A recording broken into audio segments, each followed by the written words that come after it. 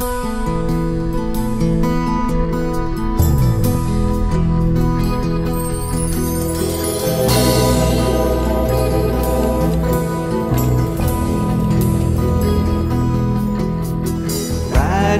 on the wrong side, taking such a deep slide.